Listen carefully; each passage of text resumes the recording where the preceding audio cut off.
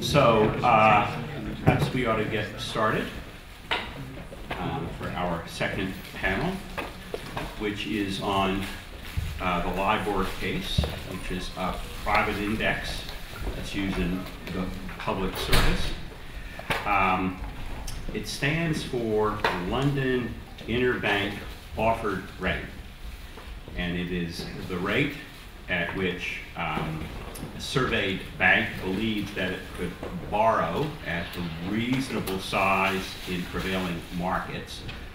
Um, I think 16 banks worldwide are surveyed as to what it would cost them to borrow uh, money, um, uh, short-term money. The high end and the low end are thrown out, and so you get the um, uh, the average of the uh, remaining um, banks in the pool. There obviously have been widespread allegations that the LIBOR rate was um, not correctly reported, um, sometimes by banks that sought to give a uh, false signal of their um, uh, financial health uh, sometimes by banks for the benefit of uh, a, a, given trader's book, um, which would lose or gain depending upon what the LIBOR rate reported was. Um, the LIBOR rate is, as I said earlier, maybe the most important number in the world, so it's said, because trillions of dollars are financial products for consumers, for um, uh, large commercial firms for derivatives are uh, float in effect um, in accordance with, with, what the LIBOR rate is or are otherwise set in accordance with the LIBOR rate. The question is to what to do about um, the admitted evidence of manipulation is a troubling one. Press reports as to um, enforcement actions against banks, Barclays Bank and others, um, with large fines, criminal actions brought against some, and private litigation, uh, about which we're going to hear uh, more in short order. So today's panel, um, exceptionally distinguished, um, consists of, of sort of um, uh, private attorneys and professors of law discussing this issue from their different perspectives. Uh, Steve Fineman and Michael Gass, Steve, Michael, um, have been involved in thinking through these questions from, I'd say, the litigator's perspective, um, in a theoretical sense and a procedural sense. Um, uh, Steve is managing partner at uh, Lieff Cabraser. Um, and that's to some extent perspective he brings on these things. Um, uh, Michael is, is head of, of securities litigation and the governance group at Choate Hall and Stewart, um, and has also been involved in the litigation, perhaps from a different perspective. So they're going to talk first, and then uh, thinking to, to help us think about whether an index such as the LIBOR index, given how it's created, um, or how it ought to be created, um, how it might serve these ends.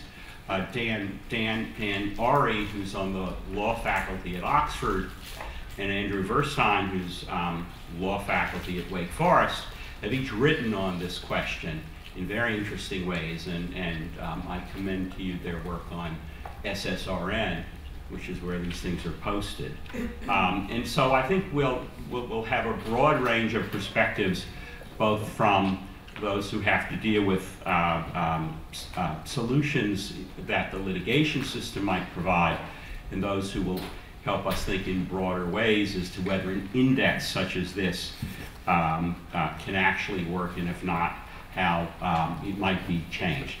So, um, with that brief introduction, uh, let me introduce um, Stephen Fineman.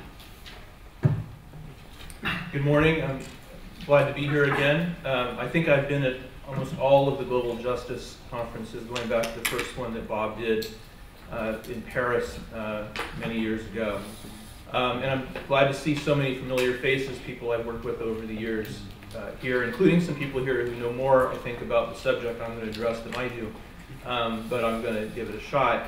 Um, what I've been asked to do is to give you sort of the lay of the land procedurally of where the civil litigation is uh, in the United States involving LIBOR. Um, I just want to circle back for one moment uh, and address the way that LIBOR is set because it is important in uh, talking about uh, the kinds of cases that have been brought. Um, at the relevant time period, uh, there were 16 banks from around the world uh, who submitted uh, their daily borrowing quote uh, to Thomson Reuters, who was acting on behalf of um, the, the, British Bankers Association uh, with respect to U.S. dollar LIBOR. Um, the cases that we're talking about, in, that I'm talking about, are involve U.S. dollar LIBOR. Um, the, the BBA, um, uh, through the BBA, LIBOR was set for um, many currencies around the world um, by some of the same banks and other banks. Uh, the litigation in the U.S. involves U.S. dollar LIBOR. Um, uh, the banks were supposed to submit on a daily basis at 11 o'clock every day, uh, secretly, uh, whatever they, uh, their borrowing costs are uh, over different maturities, um, short-term maturities. Um, other banks were not supposed to know what the quotes, daily borrowing quotes were. Um, the, um, as, as, you heard um, referred to, there are settlements, government settlements already achieved following government investigations by the Department of Justice, the CFTC, the SEC, the British FCA, the Swiss Authority, the German Authority, and Japan, uh, with uh, settlements with Barclays, UBS, and RBS. The Barclays settlement generated uh, a fair bit of information that was contained in uh, or, uh, settlement orders that suggests that there are two fraudulent regimes uh, one fraudulent regime has to do with the manipulation of LIBOR up and down to suit the interests of specific traders' positions at the different banks. That is not the principal basis of the civil litigation. Um, you can imagine, uh, just from a practical standpoint, the difficulty in establishing damages in a case where, damage, where LIBOR is moving up and down on a daily basis. The theory of the civil litigation uh, it has to do with the second fraudulent, regi fraudulent regime that we've seen in the uh, government proceedings, and that has to do with the suppression of LIBOR during the financial crisis period, um, roughly summer of 2007 through summer of 2009, late 2009. And the theory of this case is that the banks, uh, on their own and in conspiracy with one another, uh, agreed to submit artificially low borrowing quotes to the BBA, knowing that that would in turn result in a suppressed LIBOR, which would in turn result in interest rates that were part of LIBOR-based instruments being uh, lower than they should have been. It's the simplest way to, to, to explain what the case is. Um, the civil litigation in the United States really got started in uh, the summer of 2011. Um, uh, my firm represents uh, numerous Schwab entities. Um, we also represent a number of other uh, private financial institutions, but they have not filed lawsuits yet. Um, the Schwab entities filed law their lawsuits in August of 2011. Our cases are not class cases. Our cases are based on the um, alleged harm suffered uh, by uh, the Schwab entities, mutual funds, and the corporate side. Um, and our, our, case asserts this suppression of LIBOR during the relevant time period. Um, there, uh, the cases in the United States were all coordinated before a single federal judge. Again, these cases are primarily involving the suppression of LIBOR during this relevant financial crisis period. The cases uh, were all coordinated here in New York before uh, Judge Naomi Reice Buchwald as part of our multi-district litigation system. Um, in the early stages of the litigation, in addition to the Schwab cases, there were three uh, different class cases filed. Um, there was called the over-the-counter class. There was something called an exchange-based class, and there's something called a bondholder class. The theories of uh, the legal theories asserted in all of these cases uh, included claims for violation of federal antitrust laws, uh, included uh, civil RICO claims, and a number of common law uh, theories of liability, including unjust enrichment, breach of the covenant of good faith and fair dealing, interference with business advantage, common law fraud. Um, all of these, these, these cases uh, were before the judge, and she uh, entertained what are called motions to dismiss. Most of you know what those are. Um, those of you who don't, those are efforts by the defendants to have the cases dismissed on legal grounds at the very outset of the litigation. The court stayed while the motions to dismiss in these original filed cases were being addressed. The court stayed the litigation of the dozens of other cases that have been filed, uh, almost all of which are class cases, but not entirely. Um, earlier this year in the spring, Judge Buchwald uh, issued a decision uh, dismissing the federal antitrust claims. Um, Mike's going to talk more about the uh, reasons for that and the challenges for that, and I may come back to it a little bit later. But um, she dismissed the civil antitrust claims, the federal anti antitrust claims, as well as Schwab's state law antitrust claim. She also dismissed the federal RICO claim. She per is permitting, uh, at least at the time being, a commodities claim and uh, it would appear certain state law claims, although there are still motions pending as to those as well.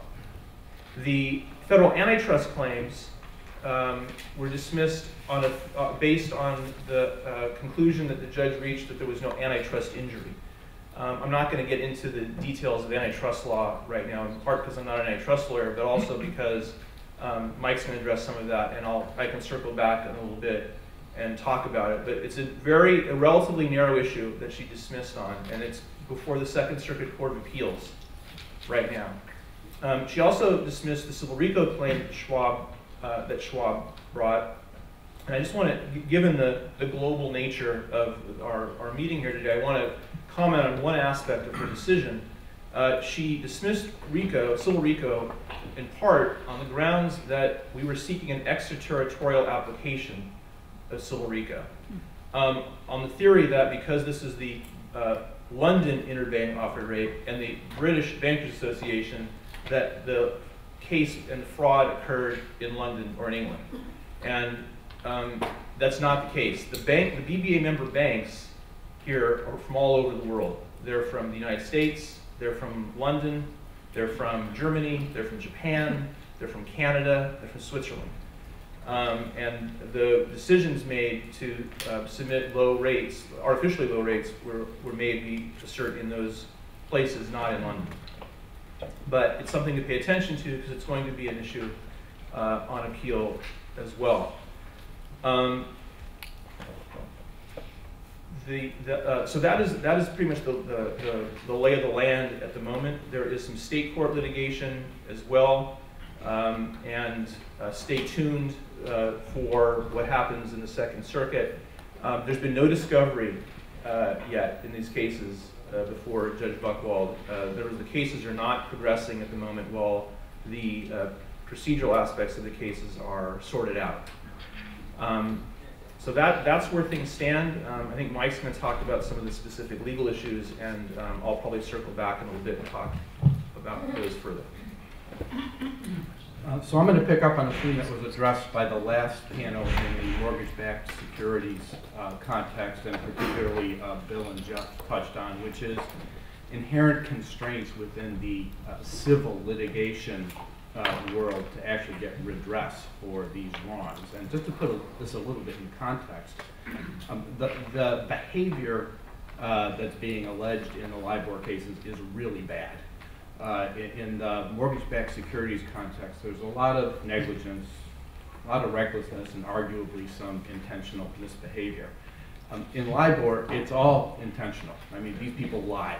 They were asked what they thought their borrowing rate was, and they gave a different rate. And they were able to do that because the information that they were being asked about was not based on actual transactions, but what on what they thought that they could borrow at. And, and they gave information that was different from that based on their own individual interests. So we're talking about really bad behavior, fraud, you know, and, and, and illegal in, you know, a hundred different ways. Um, the potential impact of this is huge. Uh, just to put it in context, uh, the prior panel talked about um, $160 billion of mortgage-backed securities transactions uh, that contain false information. LIBOR is used uh, uh, in connection with $350 trillion of transactions.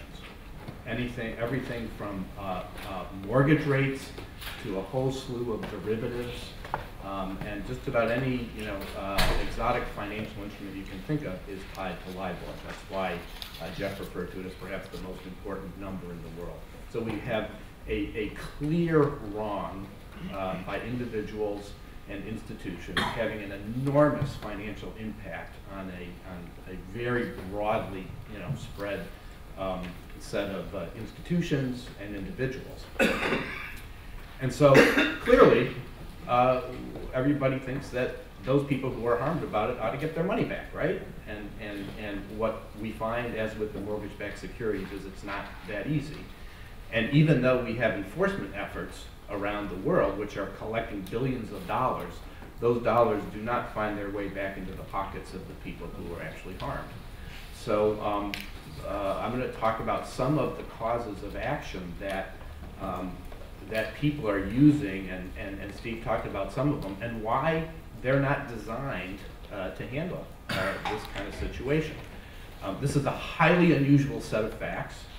Uh, and and, um, and for that reason, when you apply the legal principles that have evolved over time under these different causes of action, they don't fit. It's kind of like a square peg in a, in a round hole. And um, Steve and others are, are, are, are, working hard to figure out how to, how to do that, um, and, and, it's challenging. Um, so for in any civil claim, of course, you're going to have um, several hurdles you have to meet. You, you, have to prove liability, whether it's a federal securities law claim or a common law contract claim or a state law fraud claim. You're going to have to satisfy each of the individual elements. And, and as I indicated, there are uh, problems with each of those with this very peculiar set of facts. If you get past the liability stage, then you have to show causation and damages. That is, that you personally, institution or individual, suffered a direct harm that you can tie back to that violation of law. And there are hurdles with respect to those, even if you get past the liability hurdles. So I'm just going to um, go briefly over some of the main problems that people are facing here, and then maybe Steve can talk about some of the strategies that people are using to deal with them. So um, when, uh, when lawyers first hear that somebody has given false information about a you know, uh, about uh, an information that's tied to a security, you know, whether it be an equity or debt instrument, typically the first place their, their brain goes is um, uh, the uh, federal or state securities laws, which are almost all predicated upon a misrepresentation, either in connection with a, a proxy or a uh, open market purchase or sale of, of the security. Um, and uh, and that is one of the causes of action that you see coming up. Um, the problem with that is you typically need to have a misrepresentation, typically by the seller of a security in connection with the um, underlying uh, financial or economic information about that. Um, most of the people who were impacted by LIBOR did not have a direct purchase and sale relationship with the banks who were involved in it. Some did, and I'll get to that in a second. But um, you, you, you, um, if, if you are simply buying an instrument from somebody else that's tied to LIBOR and are hurt by it, you can't point to a misrepresentation necessarily um, that in, in, in direct relationship with one of the banks that was involved in this. Um, there certainly are a lot of um, institutions who bought from uh, these uh, the banks that were involved in, in setting LIBOR. Um, but then you have to be able to point to a specific misrepresentation that you relied upon in doing that. And Um, There's one case, I think it was Barclays, where they pointed to um, a uh, misrepresentation that the, the bank is a good corporate citizen, and, and therefore you can rely on them. Well, most courts require something much more specific than that. You know, they require uh, something to the effect, in these circumstances, that, um, you know, LIBOR is set in this way, when in fact, the bank knew that it was not submitting legitimate rates. So, so there are a set of facts that uh, can support that type of claim, but as you can see, it's a, a, a narrower set of facts than the very generalized, you know, I, I, um, I bought an instrument and got paid a lower interest rate on it because these banks out there fixed LIBOR. Um, common law fraud claims uh, don't have some of the constraints that the federal securities law claims, which have a number of hoops that you have to jump through. But they still have the requirement of a misstatement that was relied upon by the buyer. And um, uh, those, um, those are a very specific set of facts. Um, There are some kind of one-off statutes that are more particularized that do open up the possibility of liability. One of them that came up in the New York litigation was the Commodities Exchange uh, uh, Act, which specifically addressed manipulation in the commodities markets. And of course, a lot of these derivative instruments qualify as commodities traded on the commodities exchanges.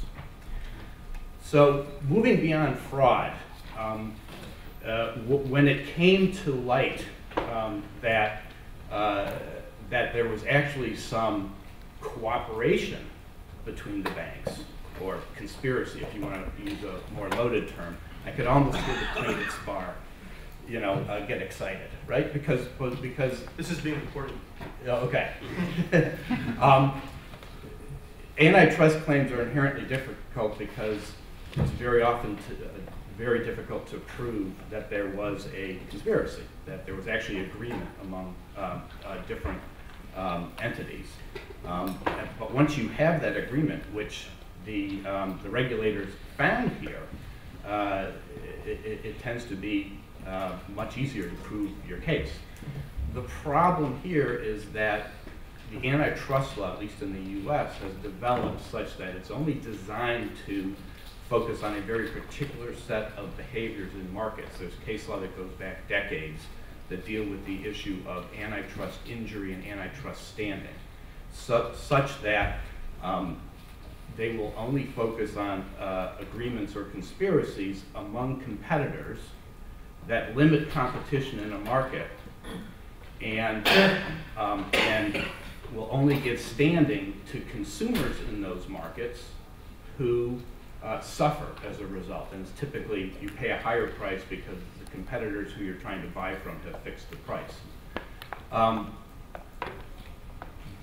the, um, anti- the antitrust um, case that Steve referred to was dismissed because of the lack of antitrust standing, and it's a, it's a very interesting issue, because in fact, the LIBOR banks were not competing with respect to setting the LIBOR price, but they were arguably competing with each other to sell securities based upon LIBOR and benefited as a result of that conspiracy. So the Second Circuit, I, I think, is going to be hearing a very interesting argument and one of first impression, as far as I know, as to whether kind of that second level, uh, one step removed from the actual competition and the conspiracy in that area will give rise to uh, an antitrust claim. Um, I'll talk for a second about uh, causation and damages and then, then kick it back. If you can establish liability under any of these theories, you've got to show, as I indicated, that your injury was caused by the particular violation. Really hard to do here, uh, in part because you had so many banks contributing to LIBOR. So it's very hard to figure out what the LIBOR rate would have been had the banks given truthful information. The other thing that really complicates this, and Steve mentioned it, is the banks were lying in both directions. So sometimes it suited their interest to give a lower rate than they actually thought that they could um, borrow at, because they wanted to signal to the market that they were healthier than they actually were. And you do that by saying, people will lend me money cheap. And, and, and so banks that were in trouble would typically use these as signals to the market. Of course, a lot of these banks made money getting paid interest based on LIBOR, and so they were incentivized economically to move LIBOR up. So, um, so you have, you have the, um, the fix going in different directions, and then just to add another complication to it, many of the instruments out there that are tied to LIBOR are reset periodically.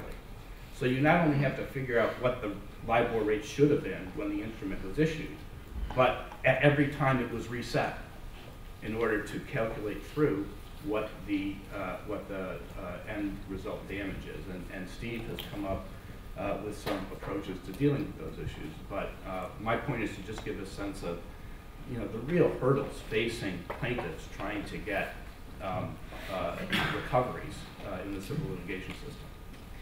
Why don't we, uh, why don't we uh, add to the um, set of issues that are now on the table by turning to Dan and then to Andrew um, from their perspectives, and then we'll um, uh, have further discussion from the panelists. Uh, thank you very much to uh, You Jeff. want to stand here? I like the sitting down moment, uh, to be honest. Uh, but thank you. Uh, thank you to Jeff and the organizers uh, for putting on this event. Uh, as Jeff said at the outset, uh, I teach uh, law and finance uh, at Oxford, uh, so I'm here to bridge uh, two gaps. Uh, one is the transatlantic gap between what's happening with the litigation in the U.S. Uh, and what's happening with the litigation uh, in the U.K. And the other is the law and finance gap, uh, because uh, both myself uh, and Andrew have engaged in research on the governance of LIBOR and how we might be able to improve it. Uh, so perhaps I'll start uh, by talking a little bit about uh, the litigation in the UK. And I'll set this against the backdrop of two big differences between the US and the UK. The first is the effective absence of the class action in the United Kingdom uh, as a mechanism for private parties to seek redress. Uh, the second uh, is that uh, all of this took place, uh, the uh, settlements and the subsequent litigation uh, have taken place against the backdrop of the uh, Financial Conduct Authority's investigation and subsequent compensation scheme for mis-selling of interest rate and other swaps. Uh, this investigation was announced prior to uh, the revelations about LIBOR, but the subsequent revelations and settlements about LIBOR have led to uh, a rethink, if you will, of the way that uh, that uh, particular uh, scheme is being approached. The first two cases to come before the UK courts are the case in Graiseley Properties and Barclays, commonly referred to, especially if you're plaintiff's counsel, uh, as the Guardian Care Homes case. Always good to have uh, old folks' homes uh, on the plaintiff's side uh, from a, a PR perspective. Uh, and the second is Deutsche Bank uh, v. Unitech. These cases share a number of similarities. First, they're both at the procedural stages, as is much of the litigation here in the US. Both involve credit facilities to which were attached uh, interest rate swaps, uh, as you often, or as you'd expect to see in many transactions. Uh, and both of these uh, suits were actually launched prior to the DOJ, CFTC, and then FSA's investigations and settlements with Barclays and other banks in LIBOR. And as a result, what we've actually seen so far is uh, an attempt in both of those cases to amend the statement of claims to include additional claims on the basis of facts that came out of the regulatory proceedings. That is, what we're seeing is factual piggybacking uh, off of uh, the public investigations. Uh, beyond these uh, facial similarities, however, the two cases are actually quite uh, different, both in terms of their facts and in terms of what's been pled. And so I thought I would start by canvassing some of those issues briefly. So in Graiseley, the original claim was one for innocent, innocent misrepresentation, so a tort claim, uh, effectively, uh, and the plaintiff sought rescission uh, of that contract. Uh, and again, uh, what we've seen so far in terms of actual jurisprudence on this is the then subsequent attempt to amend the pleadings. Uh, and this is a very low test in the UK. Basically, if you've got an arguable case that has a prospect of succeeding, you're in. Uh, and in Graiseley, uh, they have indeed uh, gotten in and satisfied that test. Interestingly, the judge in that case, Justice Flaux, uh, focused uh, much uh, of his attention on what the traders who manipulated the rates and the senior management knew about the contracts that the plaintiff was entering into. So did they know that if manipulation is taking place within the interest rate swap market, that this would feed into the, the cash flows uh, on the loan agreements uh, and whatnot? Uh, ultimately, this came down uh, at this stage the idea that, well, counterparties have a right to assume that if they're engaged in business with banks that are part of the LIBOR uh, panel banks and use LIBOR, that uh, there won't be any jiggery pokery going on between the two. Unitech, uh, in contrast, and this is one of those great cases where bad facts have the potential to make some really bad law, uh, wasn't originally uh, a case having anything to do with swap mis-selling. Uh, Unitech uh, got blown out, uh, couldn't pay back its loans, and is attempting to use LIBOR misrepresentation as a shield against having to pay back money to Deutsche Bank. So already the lawyers in the room might be able to predict how this case has been dealt with. Here, it was a more uh, uh, a, doctrine, a traditional doctrinal approach to uh, the issues at hand. Importantly, the pleadings in this case were actually contractual in nature, so it was an implied uh, uh, uh, warranty claim or a collateral warranty claim uh, seeking basically contractual settlement. Here, the judge wasn't particularly sympathetic on the leave to amend application to then uh, add on negligent and fraudulent misrepresentation in tort, uh, and said that uh, it was simply going to be unrealistic uh, for everybody who has uh, a transaction linked to LIBOR to also have to their benefit uh, some sort of implied warranty that LIBOR works. That is to say, or as the judge said it, that it's unrealistic to think that when Barclays or Deutsche Bank goes out into the world and makes this implied representation, that they can speak for the entire LIBOR system uh, and whether it works properly. Now, both of these uh, motions uh, are currently before uh, the Court of Appeal uh, and will likely be decided together. Uh, as I said to some people last night, with my luck, that decision is probably coming out at this exact moment, and everything that I'm telling you is now yesterday's news. so look out for those. In terms of the actual trials, the only trial scheduled so far is the Graiseley uh, trial, which is scheduled for six weeks uh, next April. So we are still very much at a preliminary stage. One of the most interesting, so getting to the substantive content of these claims, uh, the most interesting thing coming out of this is whether uh, plaintiffs are going to have a tougher road to hoe with the contractual claims or the tort claims. Uh, and here on the contract side, again, we're talking about uh, implied warranties uh, and collateral warranties. On the tort side, we're talking about misrepresentations of varying degrees of severity. The basic test uh, in the UK uh, for both is pretty simple, or at least similar, uh, and that's whether a reasonable person would have inferred uh, that uh, a representation was being made, one of those nasty objective subjective tests. But the courts in each of the two cases we have so far took a very dramatic, a, a dramatically different approach to that question as I said before, Flaux uh, in Graiseley focused on the idea of what the bank traders and managers knew uh, in terms of making the connections between manipulation and loss uh, to counterparties. Uh, Cooke, uh, in the Unitech case, uh, took a much more traditional English approach and said, well, let's focus on the representee and what they would have inferred from the words and deeds of the banks in question because Flaux was focusing on uh, fraud uh, in the former case, it seems to make sense that uh, on an intuitive level that they would have focused on the knowledge of uh, bank managers, as that's going to be ultimately uh, an issue that they have to satisfy the court uh, about.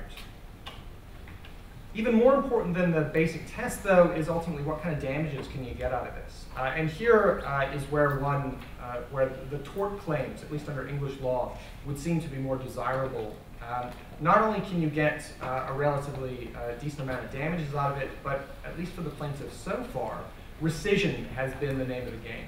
What they want is to be put back in a position as though they never entered the contract. They don't want to mess with a lot of the, the issues uh, that, in terms of causation and damages uh, that uh, seem to be raised in the UK, or sorry, in the US. The rescission uh, in the UK, in addition to actually uh, being able to walk away from the contract, will entitle you to things like your break costs. Uh, so uh, we can immediately see that uh, these sort of claims are advantageous. Ultimately, then, uh, the difference between tort and contract leads to substantially different evidentiary challenges uh, under each type of claim. Uh, so on the contract side, the big question is going to be the but for. What does this market look like if LIBOR is not manipulated? Because you're going to be entitled to the difference between uh, what actually happened uh, and that counterfactual. There's also, uh, I think, important questions about causation and the extrapolation of losses uh, over broader periods. Uh, and for those of you that were familiar with this, some of these issues harken back to me to some of the claims on the mutual fund market timing cases, where you had huge evidentiary issues about having to extrapolate damages based on when you were in. On the tort side, in contrast, we're still dealing with a but-for test, but the but for is, well, what would the, the party receiving the representation have done uh, had they known uh, or had this representation not been made? This goes back to the nature of the, the damages award uh, for rescission. Uh, and here the parties really have to satisfy that they turned their mind to the issue uh, and that this became something that was sufficiently salient to them that they wouldn't have entered into the transaction had this implied uh, representation ultimately not been uh, going forward, I think it's safe to say that there's a divergence of views uh, whether these claims are going to be successful in the UK. Uh, I think that uh, you know, on the balance, uh, the evidentiary challenges for both the contractual and tort claims uh, and the general sort of program that English lawyers put to, well, the value that they put in freedom of contract, let's say, means that it, it, it's a tough uphill challenge for both Unitech and Graiseley. Other parties are waiting on the sidelines, awaiting the outcome of these two trials, awaiting uh, to see whether the FCA uh, uh, swap mis-selling uh, scheme actually uh, works. Uh, so we may see more litigation depending on how successful those actions ultimately are. I'll say something very quickly about the mis-selling probes themselves, because it goes to something that Jeff said earlier on. Uh, the UK actually has a history uh, of substituting private litigation in the securities and financial law fields with uh, these public uh, sort of schemes. Uh, the most recent one, uh, other than the swap mis-selling scheme, is the, the, the, PPI, or Payment Protection Insurance scheme, where we had hundreds of thousands of claimants claiming billions of dollars of losses, and that process has proceeded fairly smoothly. The swap mis-selling scheme has not proceeded smoothly at all. Uh, the scheme was announced in the spring of 2012. It potentially involves 30,000 different separate claims, uh, most of which uh, have not moved forward, so the, the, FCA has a process which has whittled down the actual actionable claims to about 10,000. Of that 10,000, uh, 32 settlement offers have been put out to date uh, for a total of 2 million pounds. Uh, and to put that in perspective, uh, the biggest four UK banks have put aside hundreds of millions of pounds for payouts under this scheme. And a year and a half later, we're still dribs and drabs. And of those 32 offers, only two have been accepted by the claimants. All right, so very briefly then, and then I'll turn it over to Andrew, who's going to speak about these types of issues more, in more depth. How did we get here? Uh, and as a former practitioner, I always get kind of jazzed about questions uh, where uh, my experience in practice and uh, the way that academics uh, view the world in theory uh, diverge remarkably. The prevailing academic view, to the extent that people even thought about indices and other private market structures prior to these sort of problems, was that market participants had pretty powerful incentives to fix any problems uh, due to market-based reputational sanctions. The reality of LIBOR was that I think anybody uh, who had a job that remotely looked like uh, mine in the 1990s and early 2000s knew two things. One, LIBOR was not an accurate reflection of bank borrowing costs. Two, it was possible that it was being manipulated. There wasn't sufficient governance in place to stop that from happening. That raises a big question. How did we get here? How did the market not work to solve this problem before it got to the point that it did. Uh, and here uh, we can ultimately look to, uh, I think, three uh, uh, potential market failures or frictions uh, which inhibited the sort of uh, fixing that we would, uh, the sort of Bayesian updating that we would expect to observe in markets uh, in these sort of circumstances. The first were huge information problems. If not for the crisis and the fact that investment bankers can't seem to get their head around the idea that text messages exist in the ether and that they will come back and haunt you, we're not here today discussing LIBOR. If it wasn't for the fact that spreads on all other indices of interbank borrowing blew out during the crisis and LIBOR didn't, the Wall Street Journal wouldn't have written an article that said, hey, wait a minute, that seems weird. The British Bankers Association wouldn't have launched an investigation which the next day led, predictably, LIBOR rates to jump up to reflect uh, more closely other measures of interbank lending. And if uh, uh, the hubris of investment bankers uh, thinking that they would never get caught for writing text messages didn't happen, none of this takes place. This is because uh, of issues uh, that Andrew has touched upon in his paper relating to the incredible discretion that was built into LIBOR, which made it very difficult to verify. Uh, and also because a lot of the markets in which the uh, LIBOR were used, was used uh, were not themselves particularly transparent. The second and third issues are really positive network externalities uh, and the fact that LIBOR was bundled together with other goods and services which you couldn't get anywhere else. So try talking to your bank uh, when you're going to get a loan and maybe a related swap agreement and saying, I'd rather not use LIBOR, thanks. I've got my own uh, funky little uh, uh measure of interest rate borrowing. You can imagine how that conversation uh, is going to go.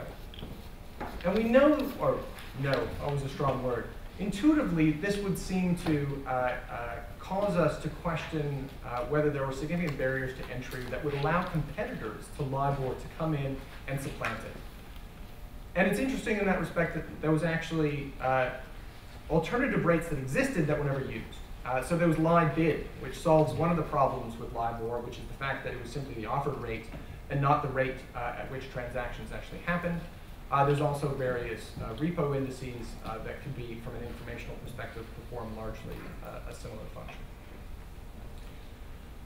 Ultimately, uh, these sort of questions uh, raise, or, or, at least um, hit on questions of whether the governance of LIBOR was adequate. Clearly, it seems it wasn't. And then what to do about it. and here, perhaps we'll save that until questions, become cognizant uh. One final point is simply that uh, this basic construct, this idea that for a lot of private market structures, uh, we rely on uh, the intuition uh, or the, the deus, ex, deus ex machina of the market uh, is something that we need to rethink. it's not just LIBOR, it's not just financial indices, it's things, in my view, for example, like the determination committee mechanism used to adjudicate credit events and credit default swaps, which manifest many of the same characteristics as LIBOR, uh, and going forward are things that we need to pay attention to, uh, lest we be having a panel with the Global Justice Forum uh, in future years talking about the manipulation of the different market structures. Uh, so with that, uh, thank you. Great. Um, and Andrew. thank you. Uh, so, um, why, why, again, does this matter? We've, we've heard that this is the world's biggest and most important number, LIBOR, but I, I would like to broaden the perspective to, to, uh, in terms of policy and, and sort of social critique of what we're really talking about here and, and what we should be thinking about going forward. Um, price discovery, or if you will, price formation, are or is the most important concept um, that capitalism has going for it. Uh, it's, the, it's the base rock, it's the base from which the rest of our free market uh, progresses. Um, and, um, and in our society, in our market society, the way that prices come about is through price indicators, price indices, price benchmarks. That's how we do it. It doesn't have to be that way, but it's how prices emerge. If you want to know the price of oil, the price of interest, the price of your how much your retirement fund is worth, whether you can afford to go to Europe for a vacation, what the exchange rate is, what electricity costs, uh, all these things, you're going to look to a price indicator, whether or not you know it, a price index of some kind. And um, that's how we do it in the society. We, we therefore uh, should care a lot if these indicators are accurate, they're manipulated, um, if they are biased. Uh, we should care in part because uh, certain individuals could be materially harmed as a result of a discrepancy if currency rates at the index point are off, you will get a different amount from your ATM in Europe than you thought you would.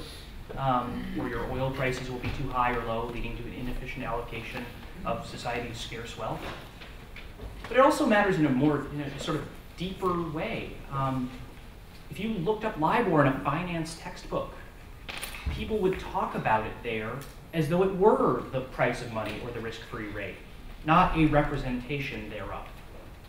And if you, I, I've got a paper that I'm, I'm working on about this, where you, if you were to go through uh, judicial opinions looking at indices like LIBOR, but other ones like Platts crude oil benchmarks or uh, the uh, world markets foreign exchange um, indicators, currencies, commodities, interest rates.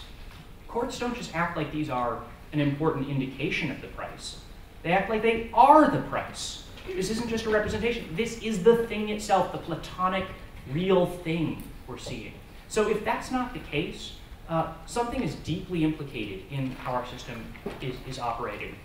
Um, and I would suggest that uh, LIBOR is part of a, a category of institutions that all serve this function and that are all susceptible to certain risks that we need to be conscious of and design our system to prevent going forward.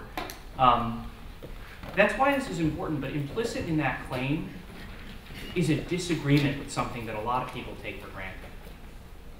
I think that we shouldn't take for granted that LIBOR was a unique aberration, that its structure was so rotten that this was inevitable, and that LIBOR is so different from every other index out there. It's easy to come to that view. As I talk about in my paper, LIBOR had some features that are really surprising. This is a subjective system where traders are making a guess about their ability to borrow, or the bank is making a guess about their ability to borrow. They don't have to present real data. They don't have to base the decision on real data. Uh, and it's, uh, it's an opaque submission that, is, that other people can't verify or, or know where it's coming from. And it's made by people uh, who, uh, who um, maybe have uh, skin in the game on, on, one side or another. This is very surprising. It would be easy to single these features out as uh, truly uh, aberrant and problematic. Um, and I think that's too easy. So I think that's too easy because those features, call them subjectivity and opacity for two catch terms, uh, are neither necessary nor sufficient for index problems. They're not necessary for index problems because you have financial indices that exhibit disruptions and alleged manipulations that have neither of those features. Currency rates, if you want to know your exchange rate of yen to euros, you're probably going to look to something like the world markets uh, Thomson Reuters rate. It's, a, it's the number one uh, currency uh, exchange rate uh, uh, index. It's written in all the financial derivatives. And it's under investigation by, among others, the Swiss regulators for manipulation. Um, and it isn't opaque, and it isn't subjective, and it isn't, it's based on market transactions that are freely observable. Um, the reality is that indices can be manipulated um, regardless of their structure. The structure just constrains who can manipulate them and how. An index that has lots of subjectivity and opacity built in allows insiders to manipulate it. An index that doesn't allows outsiders to manipulate it and disempowers the index provider to use subjectivity and opacity to stop outsider manipulation.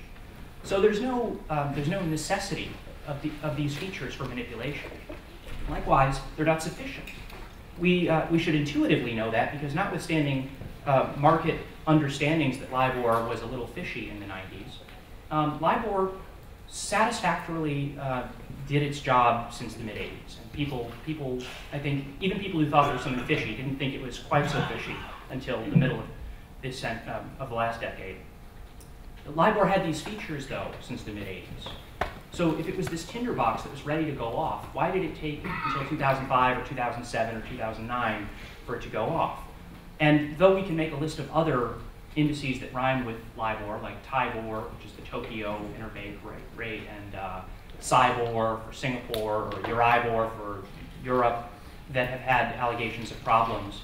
There are, is a list twice as long of BORs that haven't been alleged to have a problem, that have similar governance structures.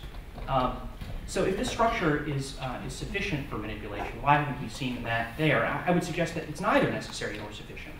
If you identify these features of sub subjectivity and opacity that LIBOR had, you do get a history of how LIBOR went wrong, allegedly or admittedly or provenly or whatever. Um, you get a history, but you don't get the explanation. The explanation is that Um, in all index construction, there are trade-offs. There's no one right structure that is the best structure for all indices or that minimizes all risks necessarily. Um, each index structure just poses different risks. And the question is, given your structure, uh, have, you, have you dealt with the risks that it creates? Um, and for LIBOR, it, there, there weren't systems to prevent, at least in, in the final days when things mattered, there weren't systems to prevent the, the unique problems that, um, that came out of the structure. Um, so what can, we, what can we draw from the assertions that I've just made? One thing is that because LIBOR doesn't prove the proposition that there are two or three things that can go wrong with an index, we, we can just get rid of them. It removes from us the easiest uh, public policy solution that people want to suggest. The easiest public policy solution is regulate indices and require them to operate in certain ways, certain ways that don't look like LIBOR. Um, and that's a proposal that in various forms is, uh, is attractive to regulators in, in, every country that's looking at this problem. Uh, and I don't think that that's a, I don't think that's a viable strategy because I think that every index is different and should be, and there's no one way that is the best way. And um, so there's no, you can't have a command and control solution here that minimizes problems. You can only regulate which problems you want to face. Um, I think it might be better to uh, provide proper incentives for market participants to choose the structures that work for them and then control risks. Um, and that means understanding that in our society, where price discovery does happen through indices, a lot of these indices are privately provided. They're provided by for-profit firms. And when you're dealing with for-profit firms, you want to provide a system that gives them the right incentives to do a good job with it.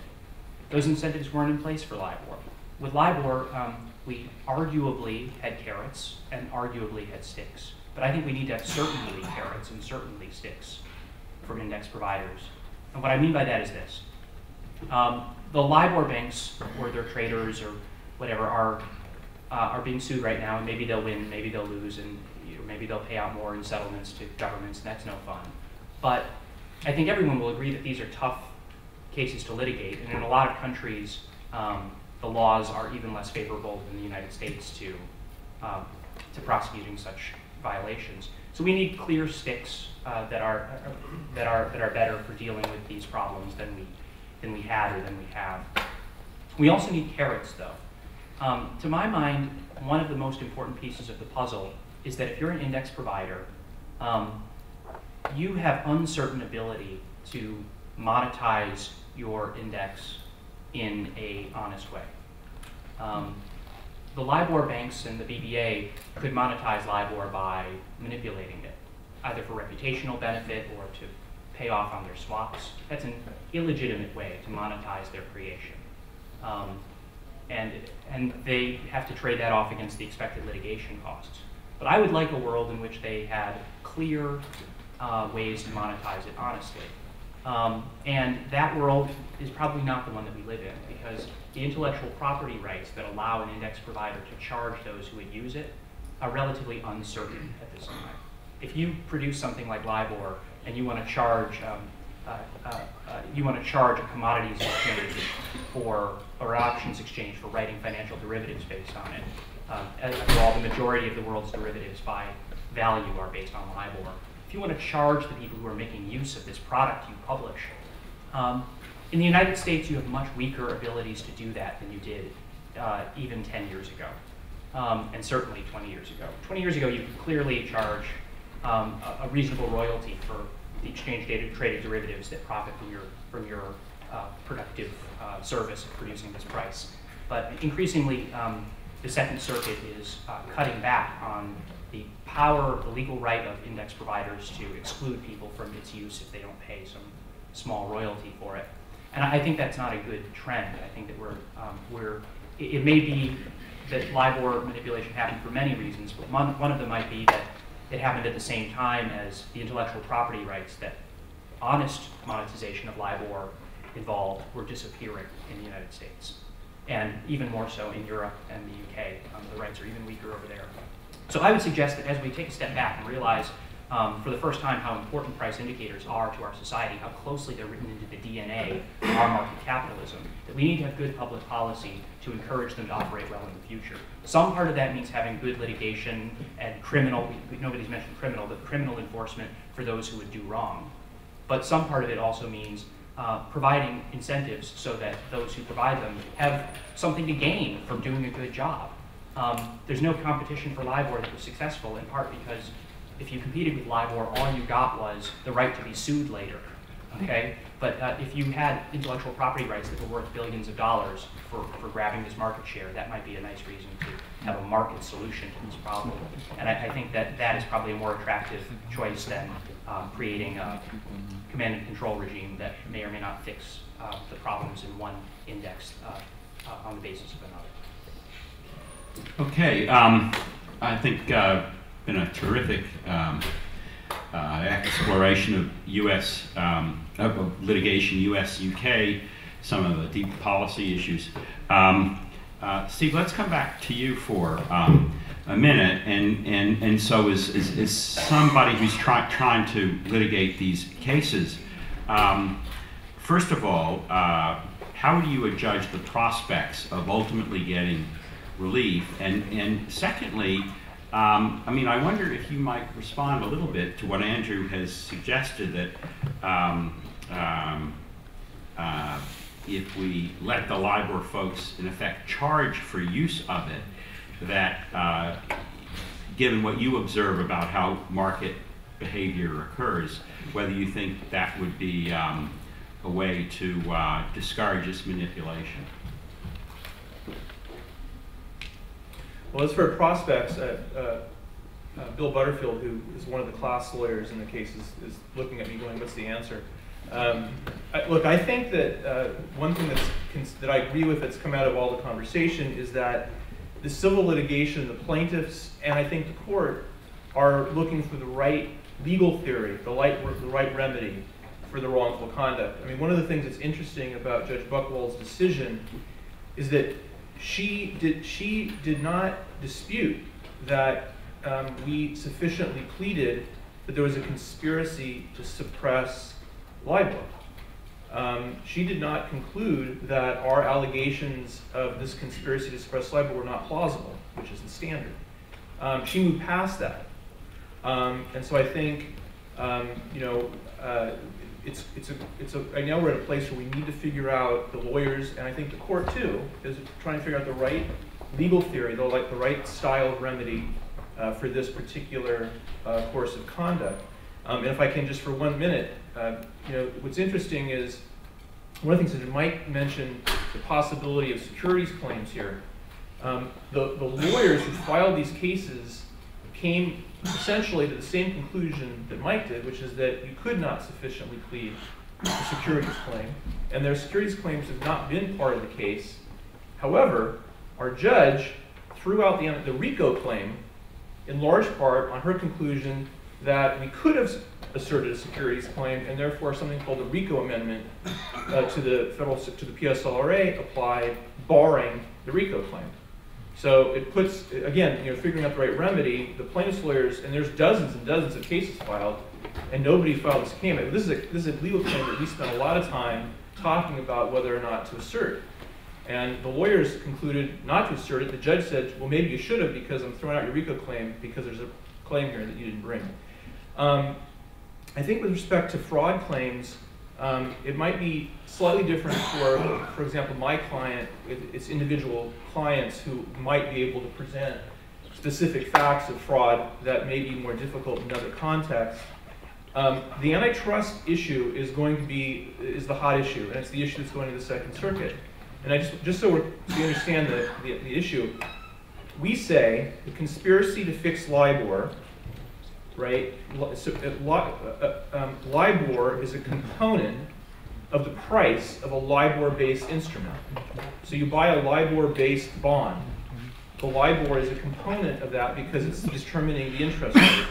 And the, har the harm to competition is the harm to competition in the market for those instruments. That's a theory that the judge um, did not follow. Um, she did not focus on it, I don't think, and I think ultimately, to answer your question, I think we will prevail in the Second Circuit. Um, causation and damages is always challenging in any of these cases. Um, there's a couple scholars here who've done a lot of work on damages models. They're still here. Um, but um, you know, there are benchmarks, pretty clear uh, benchmarks that show a deviation between what LIBOR should have been during the suppression period, mind you, not during any extended period, but during the suppression period. There are benchmarks that are used in the industry, um, and LIBOR deviates from those significantly um, downward. And to put it simply, the, the loss is going to be, the damage is going to be what the investor should have received and did not receive. Um, and it does require a, a, daily look at what LIBOR was and a daily look at benchmarks, but that's, um, that's very doable. Um, it's very doable. Um, as for charging for the use, I, I, don't, I'm, I don't think I'm really qualified to answer that question. I, I would say, I don't know that it matters. I mean, there, was motivation here for, during the suppression period, the motivation was for the, the financial institutions to appear more solvent and stronger than they really were. Um, uh, if they had reported their actual borrowing costs, which were higher, it would have made them look weaker. They were not going to do that. They suppressed those rates so they would look financially stronger. If they were paying for the privilege of using LIBOR, would they have not made that choice? I don't think so. If I might make one comment on that, just, I mean, you know, I do back of the envelope math in my paper and suggest that Citi might have had $10 billion a year in revenue if they were to charge a very tiny amount um, on the use of LIBOR. That would be uh, the kind of money that you might install, you know, security to check your, you know, text messages of your employees to make sure they weren't screwing up that revenue stream. Uh, and you'd be in less financial trouble to lie about if you had that kind of revenue stream. And so anyway, otherwise, I'll, I'll there we go.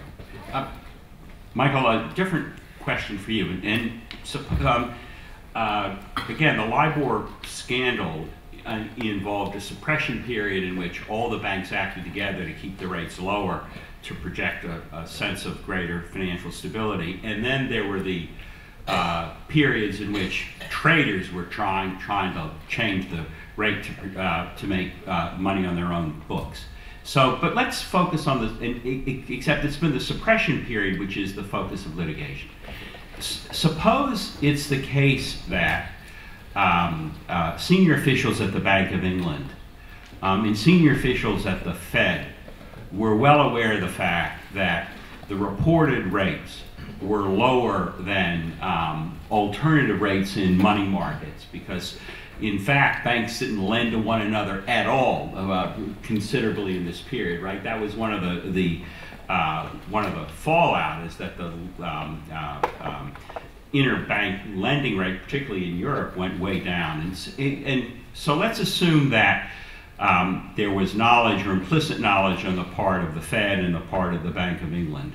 So what does that do to an argument about um, how the private litigation system uh, should try to hold uh, these, these financial institutions to account? Well, I think uh, if and to the extent the regulators knew that there was an issue that these spreads didn't make sense, then you've got a huge failure on the regulatory front, just like you did with the mortgage-backed securities. Um, I don't think, however, that that should um, protect uh, the banks in civil suits um, uh, uh, uh, in which the you know the suppression of the um, the rate is being attacked. It's not a defense to say, yeah, I was doing it, but the regulators knew I was doing it, so it's okay. Um, in the back, yeah. Yeah. Um, actually, the mic will work.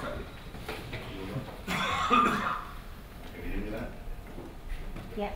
Okay, good. Um, the two gentlemen on the right side and I are bankers. So we start banking business and we collaborate. We meet once a week for coffee MDT, have this LIBOR, we call it TRIBOR, and set up an, a tool. Nothing else on the market available. So the rest of us, all here, all bankers say, well, let's use this, let's use that tool. So it's not imposed by us, it's not offered by us, it's picked up because nothing else is available. So you, you come to situations where somebody in our banks criminal intent changes, modifies, manipulates, then you have a case. But if you just say, well, we just meet once a week over coffee and it's just theoretically happening, which I can see in, in, in German litigation on the, on the horizon. Um, what's happening there? I mean, where are we then? A full wash will, I guess, not impossible. Will then be impossible. You only have to organize a single case. Is that correct? It will make it harder than basically become an overall um, encompassing approach to these It, issues. it is difficult to come up with a system that works. There is nothing wrong with privately putting together a system um, that creates a benchmark. The problem is if the, the process and the result are not what they're represented to be to the market. Yeah, but the problem is, um, sorry, the problem is, if these, all these bankers take voluntarily this not provable, as you made it very clear, not verifiable, you can manipulate at all times, this, this tool in your hand, and you use it for your own activities, And the responsibility is part of your hand, right or not? That's gonna be, a- that's gonna be a problem. If, if, if others outside of the banks are relying on it, and you know they're relying on it, I'm relying that my mechanic does a decent job with my car, with my brakes. That's not good enough. I might run against the next tree, then what? Well, I think, and, and, and I was having a discussion earlier about the, the governance obligation of an, of an organization that creates, uh, these kind of We rates. fully agree, but that wasn't there. You Yeah. correct, you can confirm that, it wasn't there. The, what, the, Nobody bothered to do something, they just bought it up. Yeah. Simple example. One person today has brown shoes on, everybody else has black shoes. So we changes now over time. So we all come in black and brown shoes. So we're gonna go for conference, it's brown shoes, it's like a mask, it's a self-imposed theory, concept. We fall for that. It is true don't have to that very original. So is there something we can grab and say, this was really manipulation? If- Because like the Deutsche Bank, for example, saying that, well, this was just some single people there, it's not us. It it is true that, of course, LIBOR's history is that it didn't emerge as something that was intended for broad public consumption. Right. Uh, these were small cliques of banks that were forming consortia to make syndicated Eight, I think, loans. at the beginning, right? What's that?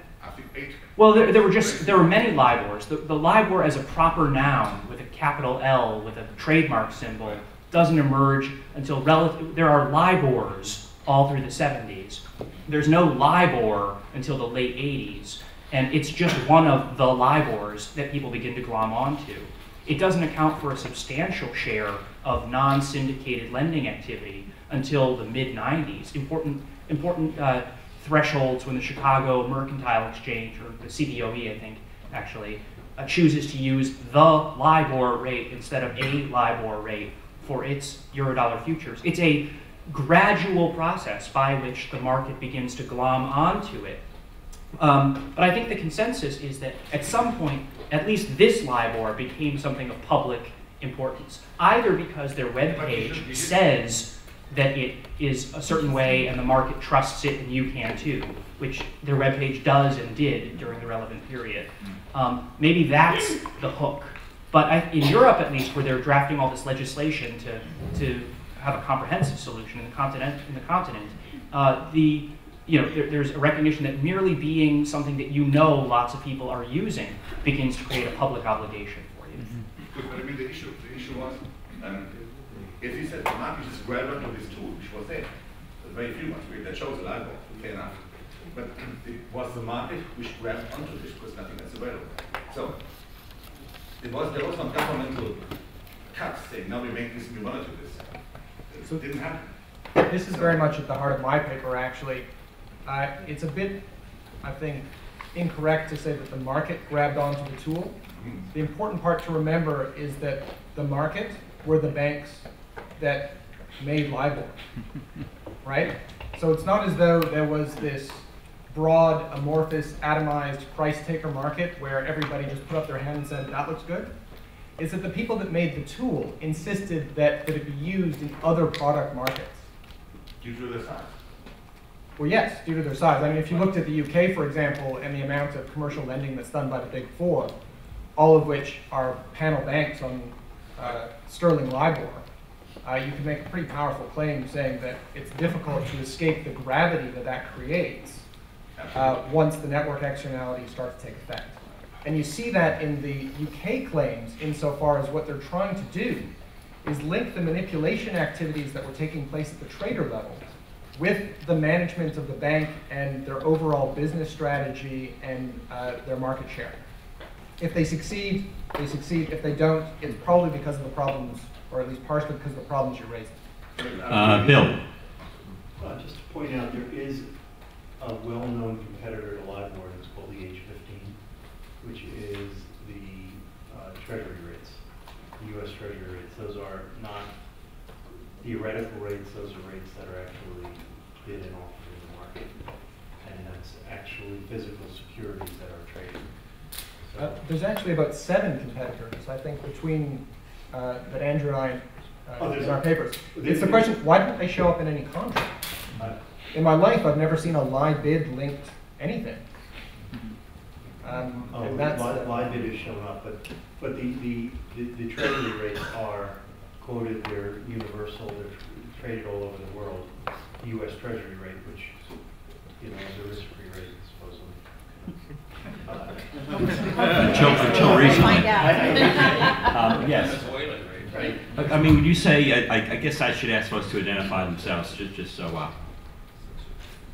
Jennifer Hill. Uh, um, You, you've spoken about. I the- think you need to use the mic. You've spoken about the asset side, and your client has been not paid the right amount, and you're going back at the bank for that. But what about the liability side? There, those people who have LIBOR-based mortgages paid less. So how are you going to prove that the bank, leaving aside the criminals who actually put an email that they did wrong things, the bank didn't necessarily profit in the slightest because its assets and its liabilities were paying at the wrong level. So you really have to go to these guys and their mortgage and say, pony up your five bucks and give it to these guys because you, you can't say the bank uh, in the aggregate has the wrong amount. There's criminals, and there is assets and liabilities that the curve was marked down. Not one side of the curve, the whole curve. So everything was at the wrong level. And you'd also have to probably go back to the shareholders of the banks, because the banks were saying they're more solvent than they are, because they can borrow at a lower level. So the shareholders' share price was inflated, uh, because actually the bank was a little less solvent than it was. So you're gonna have to ask those guys for a little bit of money back as well to pay your client. How, how do you do the math on? I don't have, liable? I don't have to. So with all respect, I, I don't have to do any of those things that you just said. Um, the I'm not saying you personally, I'm just saying. No, I don't think anybody with a, I don't think anybody with a plaintiff in one of these cases has to do all those things you just said. I think the issue is what, what, um, our client was entitled to under the terms of its arrangements and whether it was paid what it was entitled to. It's the whole, that's the whole of it. And if they weren't, they're entitled to recover that money. The issue is the impact on my client, not how much money one of the banks made. Although, although I do think that point comes up elsewhere, and that is what was the intent of the banks. Right. So if they did something that was um, revenue neutral to them, it's a little harder to prove that they did it in order, you know, for, That's my point, yeah. yes.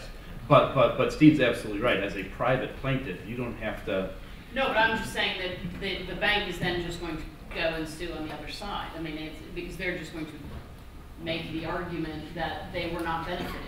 So, I, don't know that they'll make that argument, um, but they may, we're not there yet. They haven't made it in any of the, in any of the procedural pleadings.